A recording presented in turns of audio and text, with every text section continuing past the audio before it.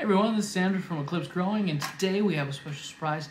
Uh, I want to go ahead and make sure everybody knows. Uh, I do want to make sure that anytime we get propagation, every time that we get uh, germination, every time we get any kind of Asian with our plants, I'm going to try to make sure you guys get updated because growing these things is super special to me. Now, I primarily focus on vegetables uh, with a few flowers mixed in between.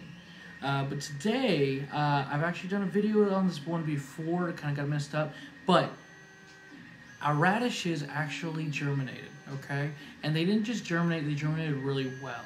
Now, I have a few pictures uh, that I'll be showing you guys of the original radish plants that I just planted straight into a pot and let those go. Now, I did a review on, on the Jiffy Seed Starter, and these things, let me tell you, uh, make a world of difference. I didn't have any problems germinating any of the radish seeds that I had before.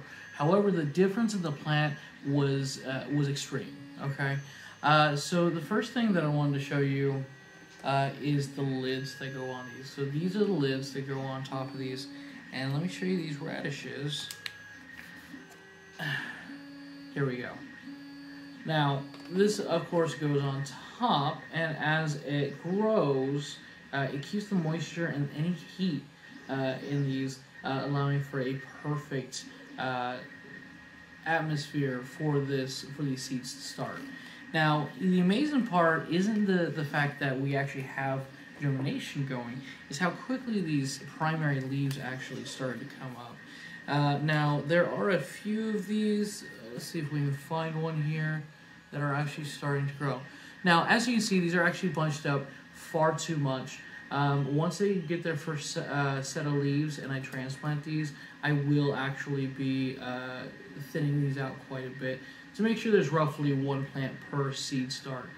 Um, now, this again was just kind of something that I did um, as an experiment to see how well this would germinate, and it seems to do really well. Um, now, here we have some tiny, tiny, tiny ones. Now, right here, let's see if we can get that focus. You can see right in between the leaves, right here, we have this little bud right here. And that is actually the start of our uh, secondary leaves or our true leaves. So these are actually almost ready to go. Uh, maybe maybe about a week or so, we'll get uh, quite a few leaves going, and the prime uh, the true leaves will actually be sprouting out, getting ready to go. Um, when that happens, I will be able to weed it, uh, or uh, not weed it, but thin it out a bit. Um, if I'm lucky, I might be able to transplant those that I thin out, as I, I do have a large basin tub that I will be planting these in. Um, but the difference is staggering, okay? Um, these actually have fairly thick stalks going on. They're not super leggy.